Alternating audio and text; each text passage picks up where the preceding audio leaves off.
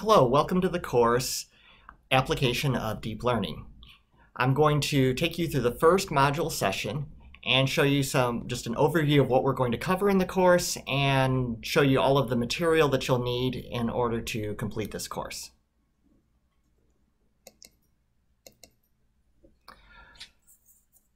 Okay, each of the, you'll, you'll notice the course is broken into 10 modules. This is the first module. Each module will have a recorded lesson video like this, as well as reading material. I'm going to show you how to get into each of those parts of the course in this, in this first video. Each of the modules will have a brief overview just like this. Each module will have several videos. They'll be called parts. This is just part one of module one. I try to keep the videos relatively short so that you can look at the individual components of each of the modules and review and look at just the ones that you need if you need to replay any of them. This one, we're going to just do the course overview, uh, the course format, and just a introduction to working in Python. The course overview. This is deep learning. We are working with Keras and TensorFlow. Let me give you an introduction to myself. I am a adjunct mem faculty member here at Washington University. I primarily teach this class in deep learning. I am also a lead data scientist at Reinsurance Group of America. And I use this sort of technology all the time in my, in my day job uh, in the analysis of data for the insurance industry. I have a master's of, of uh, information management from here at Washington University. I also have a PhD in computer science. I am a senior member of the IEEE and the author of a couple of books related to, to these technologies. I have my email address there at WashU. That's the primary means of communicating with me for this course. This course focuses primarily on the application of deep learning. We will use Google TensorFlow and Keras. So as a result, we won't go heavy duty into the theory of deep learning and all of the mathematics behind it. We'll have an overview of, of those topics. And if you want to ask me more information about them, I would be glad to uh, give you some links or provide you with additional information on the lower level details of this. Uh, it is, however, a technical course, so we will be using the Python programming language. If you've never dealt with Python before, that's okay, but I do expect that you've dealt with at least one or maybe two programming languages prior to. I will have several um, several videos that will try to get you up to speed quickly on the Python programming language, and by all means, we will not go heavy duty on Python. We will do enough Python to get the, the deep learning um, components of this class working and you able to, to submit your assignments. We will do predictive modeling. That's sort of your classic data science with deep learning. So we will see how you can give it several columns of something in Excel and pick another column where it learns to predict that value, maybe looking into the future, doing forecasting. We will also look at the next two areas that I show you down here, where is real, which is really where deep learning shines compared to traditional machine learning models. Computer vision and time series in particular is where deep learning is really, really powerful. Deep learning has done things with recognizing images that we were previously not able to do, and there's new advances all the time in computer vision, some of which we will incorporate with the course even, even as it's going. Time series is basically dealing with events that occur over time. The classic example of this is stock market prediction, uh, just looking at financial markets and trying to predict where things are going. But there's other uses for time series that you might not think of, like speech recognition, because speech recognition is listening to the audio of your voice as it goes through through time. There is also uh, natural language processing, which is basically looking at characters as they go through time, as sentences go through the computer. So we'll, we'll, we'll go through all three of these in particular and look at applications of each. And you'll get to try out implementing each of these in the Python programming language. So the course format for this, it, this is a hybrid course. There is in-class lecture. There is also um, an online component. You're watching the online component right now. The course module. So I try to break this course up into individual modules. Each module is designed to take approximately a week. We won't meet every week. There will be a weekly video in addition to the module videos that I will post literally as the class is going. So if you ask me questions in, in emails and I see that one particular question is predominant, I will I will usually answer these questions right in that actual video. And those will go for maybe about 10 minutes. And they will also cover any sort of new information that I see in the deep learning field as we're, as we're going through it. There will be several in-class meetings. To get the exact schedule for those, look at the first uh, the first update video that I should ha already have posted to the to the course site. There I will review the semester by semester specifics of what dates you will need to be in class and, and that sort of information. It's very important in this sort of hybrid class that you stay on top of the videos and don't just watch every single video right before an assignment. So that's why we do have one small assignment a week. Rather than giving you a couple of large assignments as the semester progresses, I give you one assignment a week and each one is due at the end of the week the syllabus that you that is attached to the uh, to the WashU um, learning management system that you should have gotten an email about will give you links to the uh, current syllabus and the syllabus explains all of the assignments and when they're due and the specific dates for each each semester. There'll be a final project uh, in the area of security there will also be a Kaggle project. Kaggle is a competitive website for data scientists and machine learning experts.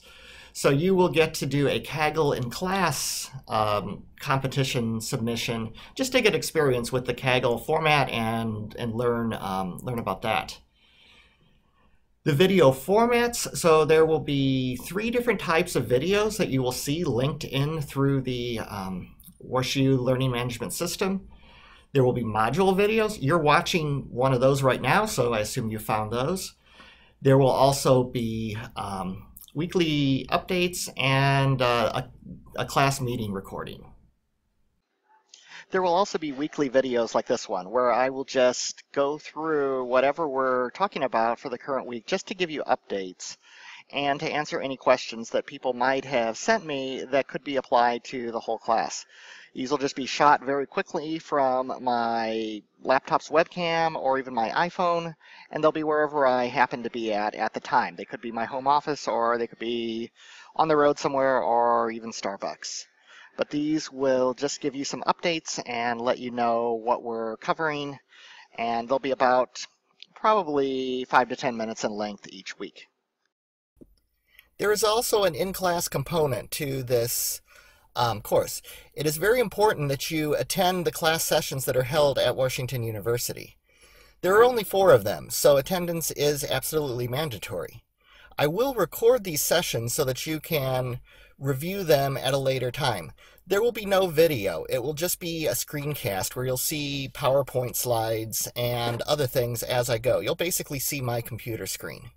If I happen to use the uh, in-class whiteboard or chalkboard, I'll just display that, probably a single picture. You won't actually see me creating them. So those will be primarily for you to review the course sessions that you have already seen. As far as the assignments for this course, there will be a class attendance and participation uh, component to your score. For this, look to the syllabus for the exact details on this, but your attendance in the four um, the four class sessions is critical to this. And also just a few a, a few things that I might ask you to do in terms of posting on the forum and other other components to the class. There will be 10 module assignments. So not every module will have a assignment because there are more than 10 of them, but uh, the ones where there is not, that's when the Kaggle project or the final project are due. And you can see the relative weighting of, of the scores there.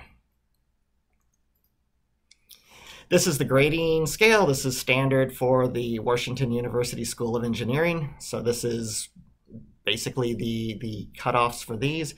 you will be able to see your grade through the uh, learning management system as as I grade your assignments. So it, it should be quite clear where you're at and what grades you currently have. Okay, working in Python. So Python is a major component of this of this class. You will learn at the end of this class you will learn you will know how to actually set up a neural network in Python using Keras and bring in real data. You have several options for how to how to work with Python. I have a couple of the uh, logos of the products we'll be using. We'll use Anaconda Python. It's a free scientific variant of Python, so it's got a lot of what you need already installed.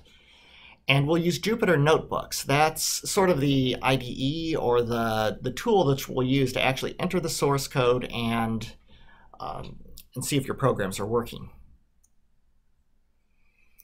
Now you have several options for using Python in this class, and I have supplemental videos on all three of these. The first is just to locally install Python on your computer. There's a number of packages you'll have to install. You'll have to install TensorFlow. You'll have to install the correct version of Python before any of that, and Keras and some of the other uh, supplemental material. In the course module um, reading material, I have complete instructions on that, and I have a video that shows you how I literally set up a new uh, Python instance for this class from scratch. Using this, you will use the Jupyter Notebook, or you can use an IDE. If you're more familiar with IDEs like Eclipse or uh, PyCharm or a whole variety of them, Spyder is another popular one, if you can use that environment. I also have a pre-built Docker image uh, that I provide that has all the course material installed. If you already know how to do Docker, that might be an option for you. I also have a video showing how to how to use my uh, Docker image. And then there's also the IBM Data Science Workbench. This has TensorFlow, all most of the stuff we need for the course installed. The only thing it doesn't have is Keras, and you can install that. I also have a video for IBM Data Science Workbench that runs completely in the cloud, and you don't have to install anything on your local computer. If your computer is older or weaker, this third option is, is usually a, a good idea. Deep learning can be fairly computationally intensive. We'll try to stay away from overly compute intensive assignments because I don't want you to have to fit your neural network model for 10 hours or so just for a uh, just for an assignment. But we'll try to keep the data set smaller uh, and these are the three ways that you can you can make use of that. Now using the Python language, we'll be using something called Jupyter Notebook a fair amount for Python. So you can literally just write through a website. This is a website and it will it runs basically from your local computer when you install it. Or if you're using the IBM Data Science Workbench, you have something almost just like this, but it is running in the cloud. You can basically enter Python as you as you like and run it and it actually executes it. So really anything you put into here, it will actually execute. Just basic Python code, count from 1 to 10. Of course, counting starting with 0. In addition to using, using Python, there are other resources that you will that you will want to make use of. Everything is linked in through the Washington University Learning Management System. You should have gotten an email from me very, very early on in the semester, as soon as I, as soon as it's available to me anyway, that welcomes you to the class and gives you a link to that. That is the WashU system of record that will have your grades and everything that I will post. All the links to everything you would need for this course is there. Some of the information is stored externally, but like I said, there will be links to it. The information that you will want to have for this will be the my own instructor site at Washington University, my GitHub site. There is a lot of source code that goes through with this class. I give you source code examples of just about everything that we go through. Source code really lives best in Git. If you haven't used it before, it's a social coding site. It's almost like Facebook for, for computer code. We will also use Piazza, which is a question and answer site. So if you have questions about the assignments or other things, you should make use of Piazza and post your question there, and I will monitor that and post a, a response to you. Other students can also answer answer this, so you you have a variety of uh, of options there for seeking additional help. You can also email me at any time at my WashU email address. And we'll also use Kaggle for a couple of, uh, for one of the assignment submissions. You will actually create a model and submit uh, data responses for a Kaggle in class competition that I will post later in the semester. So here is some of the course information that will be useful for you. This is my instructor website at Washington University. There is a link to it in the in the course um, module information. If you need to find it really quickly, you can just Google my name, Jeff Heaton, space uh, W-U-S-T-L, and it, that's usually the first thing that pops up on Google. And this is the just the general information on the course website. This updates as for each future semester of the of the course. I have links to all of the information here that is that is useful. The GitHub link is probably the most important thing that you will want to that you will want to look at.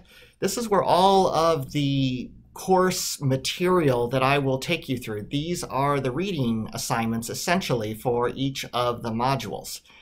And they're broken up by module or by class you will see basically a um, you'll see semester specific information talking about where the, the, the, course meetings will occur and dates specific to whatever semester this is currently on. If you go into one of these files, these are all Jupyter Notebook files. If you view them online, um, GitHub allows you to allows you to view them, but you can't actually run anything. This is text information intermixed with Python code. So if you, like here is information on how to install uh, your own your own TensorFlow environment. But when you get to code like this, since we're just viewing it on GitHub, you can't actually run it. If you were running this from your local computer, you could, or Data Science Workbench, or wherever you chose to do it, you could actually run this. And this is a handy snippet of code. It tells you what version of Python you have and what version of TensorFlow. Now this will vary depending on the semester, so don't take the video for, um, for its word here because I tend to update the class as future versions of TensorFlow are, uh, are released by Google. So to actually run this code, you need to launch it in uh, your own Jupyter notebook so that you can double click it and then change the code. For more information on that, look at the, uh, the, the Python introduction video that that also accompanies this, this module. And that is the end of module, uh, part one for module one.